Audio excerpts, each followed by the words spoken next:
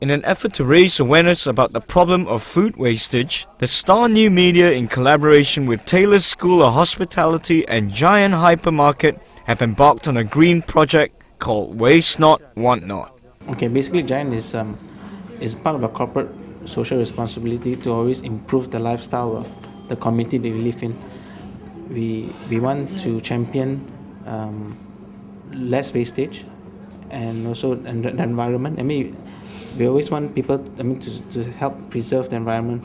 Look at our stores. We, we have uh, we, we use very little electricity. We open up the, the ceilings and we also have a very uh, efficient use of um, air conditioning for this particular store.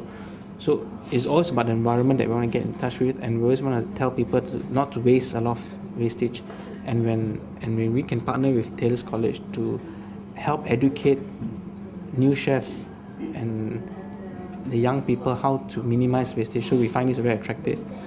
And also it's part of our social responsibility to go out and distribute I mean to make the lives better for the students and in the schools in Taman Medan. Mm-hmm. And so part of our project to sponsor schools. We are around we're going around sponsoring our schools in terms of textbooks, meals, milk and also um, going to improve their, their their learning facilities like the labs. We have into those kind of community projects. So when we saw this opportunity to do it, he took it now. Launched in conjunction with World Earth Day on April the 22nd, the project's objective is to enlighten young people about food production and also how to fully optimize food resources, with the students following the route of food from farm to store. The project will also see a group of Taylor's culinary students setting up an open kitchen to feed poor students. You know, kids are quite choosy nowadays, so still have to, there's a lot of planning to do. Waste Not Want Not kicked off with the Taylor students making a tour of the giant hypermarket in Puchong to learn the whole process of food production from the professionals. I think it's really an eye-opener eye-opener thing for all of us to see how they choose their stocks, how they purchase their stocks, and how they really handle their stuff. And the Giant is really different compared to other places. It's really organized and neat, and how they handle their stuff. Okay, so has this uh, changed your impression of like uh, how you go food shopping now these days? You know, like, yeah. Yes, actually did uh, because uh, see how they handle the food. Like the one that is not really nice and not really presentable, they'll actually trim it and repackage it again. So it actually changes uh, our concept of supermarkets.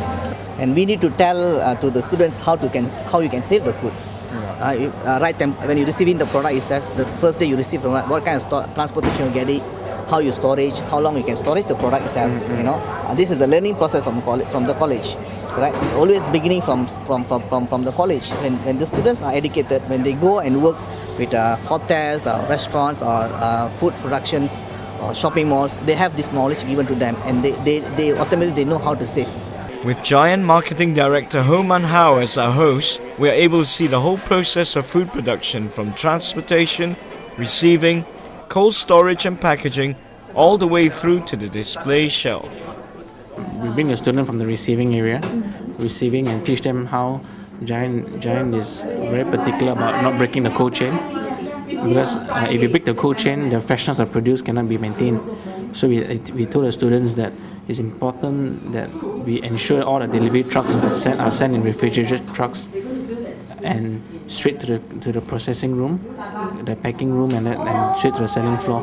Then we also bring the students to the cold room, teach them a bit about how the stores are being, are being stocked, and how we ensure the cold room's temperature maintained at all times, and the cleanliness of the cold room.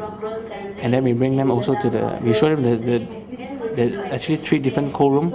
Um, the produce, the F&B is fruit and vegetables, uh, chicken, meat, and seafood. These are all different, uh, kept in different cold rooms to avoid uh, cross uh, cross contamination. Because different cold rooms, like I told you, chicken water and, and, and seafood water is very contaminated. We cannot keep in the same cold room. Just to make the students aware of this, even when they start cooking or they start because there's a lot of scene they don't see in the hypermarket. You just see on the selling floor, but there's a lot of measures we take behind the back, the uh, back room, to make sure our uh, produce are safe for consumption and also fresh. During the course of the tour, we are also able to see just what Giant does with its edible food of no commercial value. Okay, just to recap, Waste Not Want Not is a green project against wastage of food which is currently rampant in our communities.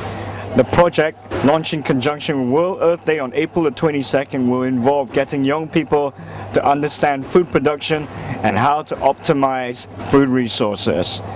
The project will also involve the setting up of an open kitchen by Taylor's culinary students over the course of six weeks to feed students in two poor schools in Taman Medan and SMK Puchong. So stay tuned for a series of videos where we will be following the students from the packing house in Genting all the way to feeding the kids.